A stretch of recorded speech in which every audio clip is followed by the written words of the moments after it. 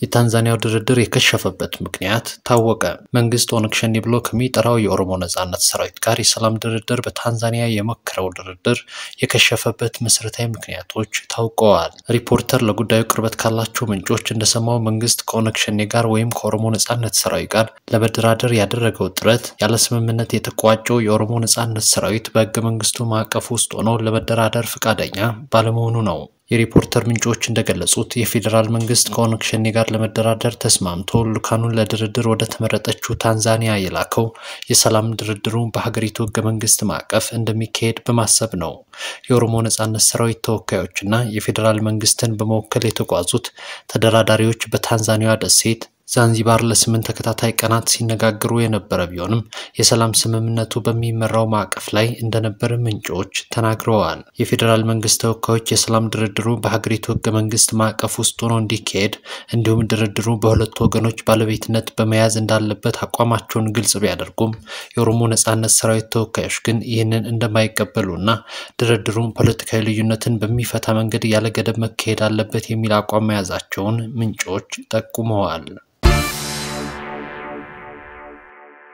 የኦሮሞ ፌዴራሊስት ኮንግረስ ኦፌኮ ሊቀመንበር ፕሮፌሰር መራራ ጉዲና የኦሮሞ ህዝብ ጥያቄን መፍታት ለኢትዮጵያ መኖር አለመኖር ወሳኝ ጉዳይ መሆኑን አራት ኪሎ ያለው መንግስት ማወቅ አለበት አሉ።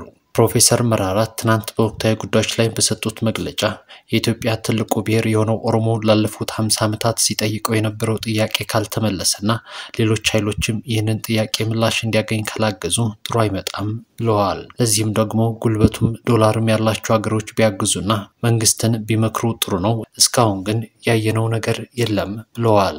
የኢትዮጵያን ዝርት የሆነው ኦሮሞ ህዝብ ጥያቄን መፍታት የኢትዮጵያ መኖርና አለመኖር ጉዳይ መሆኑን አራት ኪሎ ያለው መንግስት ማወቅ አለበት ያሉት መራራ ጉዲና አራት ኪሎ ያለው የአሁኑ መንግስት የሽግግር መንግስት ይመስረት የሚል ጥያቄን ብቻ ሳይሆን የሽግግር መንግስት የሚለውን ቃል ጭምር ይጠላል ይሸሻልም ብለዋል። የአሁኑ መንግስት ቃሉን ካልወደደው አሳታፊ መንግስት ብለን መጥራት ይቻላል ሲሉም ተናግረዋል።